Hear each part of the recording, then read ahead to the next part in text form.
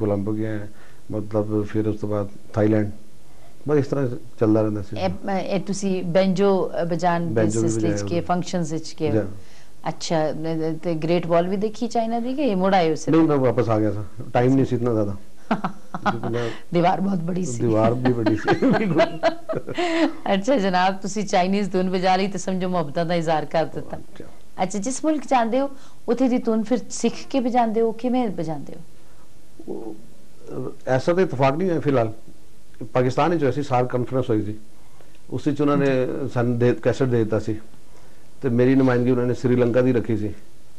ਤੇ ਸ੍ਰੀਲੰਕਾ ਦਾ ਉਹ ਕੈਸਟ ਸਾਨੂੰ ਦੇ ਦਿੱਤਾ ਸੀ ਉਹਨਾਂ ਨੇ ਕਿ ਉਹ ਸਾਰਿਆਂ ਨੂੰ ਮੁxtਲਿਫ ਮੁਲਕਾਂ ਦਾ ਜਿਹੜਾ ਸਾਰਕ ਦੇ ਮੈਂਬਰ ਮਮਾਲਿਕ ਸਨ।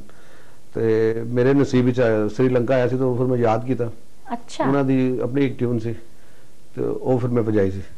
ਅੱਛਾ ਉਹ ਵੀ ਯਾਦ ਹੈ ਜਾਂ ਭੁੱਲ ਗਏ ਹੋ?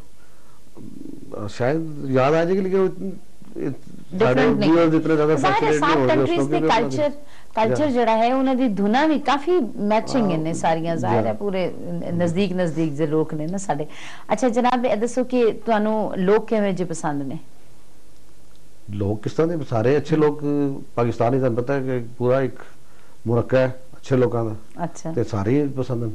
ਬੜੀ ਪਾਕਿਸਤਾਨੀ ਪੋਜ਼ਿਟਿਵ ਤੇ- ਗੱਲਾਂ ਕਰਦੇ ਨੇ ਜੀ ਇਹ ਜਾਂ ਤੇ ਬਹੁਤ ਹੀ ਜ਼ਿਆਦਾ ਉਹ ਕਹਿੰਦੇ ਨੇ ਕਿ ਅਹ, ਮਾਇਰਾਨਾ ਜਵਾਬਾਤ ਤੁਸੀਂ ਦੇ ਰਹੇ ਹੋ ਨਹੀਂ, ਜਾਂ ਨਹੀਂ, ਤੁਸੀਂ ਐਸੀ ਯੂ ਕੋਈ ਗੱਲ- ਮੀਨ ਇਟ ਹਾਂ, ਜਾਂ ਮਤਲਬ- ਮਜ਼ਾਕ ਕਰ ਰਹੇ ਹੋ ਨਹੀਂ ਨਹੀਂ ਮਜ਼ਾਕ ਵੀ ਨਹੀਂ ਹੈ ਲੋਕ ਲੱਗਦਾ ਜ਼ਾਹਿਰ ਹੈ ਬਹੁਤ ਪਾਕਿਸਤਾਨੀ ਤੁਹਾਨੂੰ ਪਤਾ ਹੈ ਸਾਰੇ ਹੀ ਅੱਛੇ ਲੋਕ ਹਨ ਪਿਆਰ ਕਰਨਾ ਮੈਂ ਤੇ ਹਾਂ ਪਿਆਰ ਕਰਨ ਵਾਲੇ ਬਿਲਕੁਲ ਤੁਹਾਡੇ ਦੋਸਤ ਜਿਹੜੇ ਨੇ ਉਹ ਜ਼ਿਆਦਾ ਨੇ ਮੇਰੇ ਬੜੇ ਦੋਸਤ ਹਨ ਜੀ ਹਾਂ ਦੋਸਤ ਨਵਾਜ਼ ਆਦਮੀ ਹਾਂ ਬਿਲਕੁਲ ਦੋਸਤ ਮੇਰੇ ਬਹੁਤ ਜ਼ਿਆਦਾ ਹਨ ਅੱਛਾ ਔਰ ਮੈਨੂੰ ਅੱਛਾ ਲੱਗਦਾ ਹੈ ਅੱਛਾ ਮੈਨੂੰ ਇਹ ਦੱਸੋ ਕਿ ਇਹ ਜਿਹੜਾ ਤੁਹਾਡਾ ਸਾਜ਼ ਹੈ ਇਸ ਤੇ ਉਹ ਕੋਈ ਪਹਾੜੀ ਗੀਤ ਬਚ ਸਕਦਾ ਹੈ?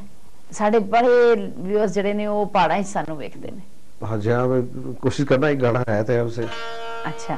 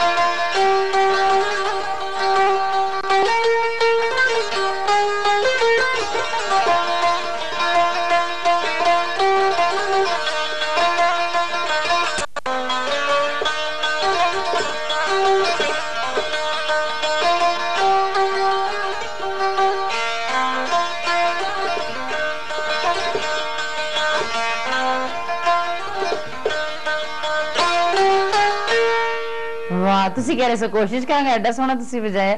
ਬਸ ਜੁਗੇ ਇਹ ਜਨਾਬ ਗਾਣਾ ਤੁਸੀਂ ਬੁਝੇ ਹੋ? ਕਿਹੜਾ? ਕਿਹੜਾ ਹੈ ਬਲਾ ਬਿਲਕੁਲ ਸਹੀ ਜਵਾਬ ਹੈ ਜੀ ਤੁਹਾਡਾ ਮੰਨੇ ਦੀ ਮੌਜ ਹੈ ਨਾ? ਤੁਸੀਂ ਮੇਰੀ ਫਰਮਾਇਸ਼ ਬੜੀ ਕਮਾਲ ਪੂਰੀ ਕੀਤੀ ਹੈ। ਹੁਣ ਤੁਹਾਨੂੰ ਅਸੀਂ ਰਾਜ਼ ਅਫਸ਼ਾ ਕਰਦੇ ਹਾਂ ਕਿ ਇਹ ਗੁਲਾਮ ਅਲੀ ਸਾਹਿਬ ਦੇ ਦਾਮਾਦ ਨੇ ਜੀ।